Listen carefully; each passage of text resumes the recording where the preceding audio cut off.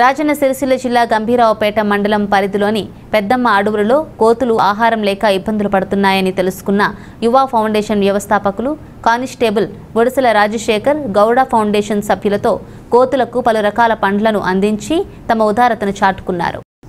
ఈ సందర్భంగా ఫౌండేషన్ వ్యవస్థాపకులు రాజశేఖర్ మాట్లాడుతూ కరోనా నేపథ్యంలో ప్రభుత్వం విధించిన లాక్డౌన్ కారణంగా నూట యాభై మందికి యాభై రోజులు అన్నదానం నిర్వహించామని అడవుల్లో ఉన్న మూగజీవాలకు ఆహారం అందించాలనే ఆలోచనతో ఈ కార్యక్రమం చేపడతామన్నారు.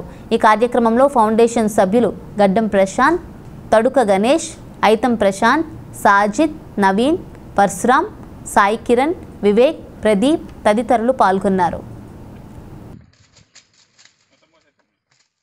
యువ ఫౌండేషన్ ఆధ్వర్యంలో కరోనా మహమ్మారి విజృంభిస్తున్న వేళ కేంద్ర రాష్ట్ర ప్రభుత్వాలు లాక్డౌన్ విధించిన సందర్భంగా వేములవాడ పట్టణంలో అన్నార్థులకి యాభై రోజులు అన్నదానం చేయడం జరిగింది.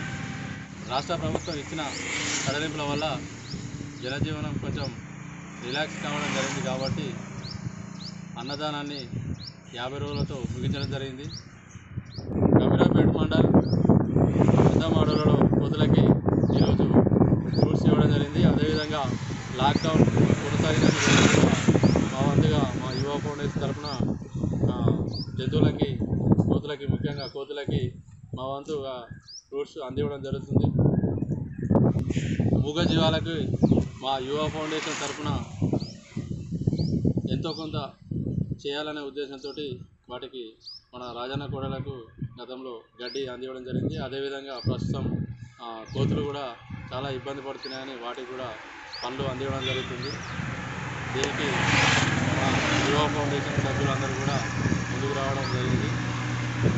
ఎవరైనా జంతు ప్రేమికులు ఉన్నట్టయితే మాకు దాతలు సహకరించాలని కోరు